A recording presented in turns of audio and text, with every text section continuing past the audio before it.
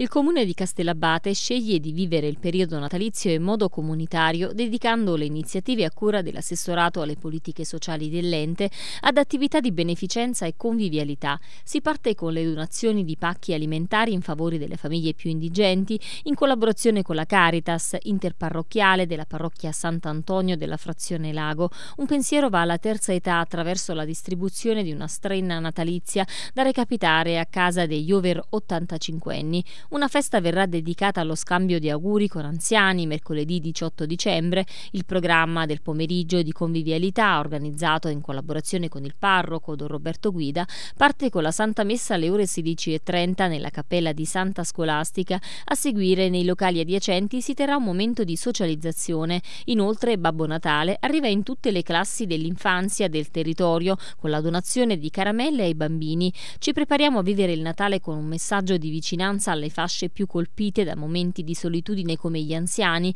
con un concreto sostegno per chi ha più bisogno e con un piccolo dono ai bambini affinché possano sentire anche in classe la magia del periodo di festa, dichiara l'assessore alle politiche sociali Elisabetta Martuscelli. L'augurio è che tutta la comunità di Castellabate viva questo periodo con i giusti valori genuini e caritatevoli.